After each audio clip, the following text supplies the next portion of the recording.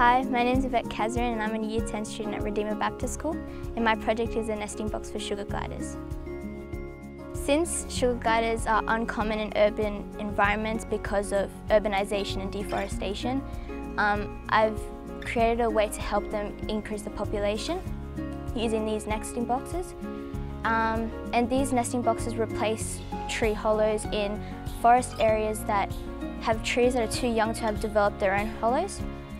So they are providing a home for the sugar gliders when they don't have any. I decided to focus on these sugar gliders because I've always had an interest in working with animals and like in future I want to become a veterinarian. Our cities are developing and we see less and less wildlife each day. But like, like these nesting boxes can help maintain that population so we still have those sort of wildlife in our areas. I've just recorded them exiting the box and then returning to the box to like observe their behaviour, uh, what they've done and through my observations I've seen what they eat, uh, how they move around, when they move around, like what they do during the day, what they do during the night. When I was looking through my footage I realised that the sugar gliders were struggling to enter and exit the box because of the way it was designed.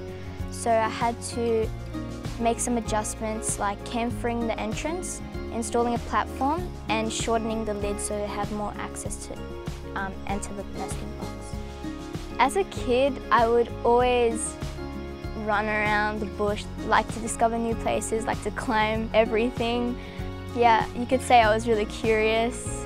My hobbies are listening to music, playing music on my piano, reading, travelling with family and hanging out with my friends. Being a finalist is great because it means that my interests are not just my own, they're shared with the wider community. I'm more interested in meeting new people with the same interests, like science, science related interests. When I finish school I want to become a veterinarian and maybe start up my own clinic in a rural area.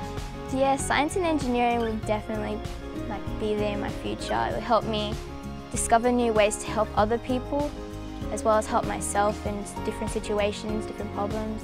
Because it helps you understand the world around you and helps you understand our relation to how everything works.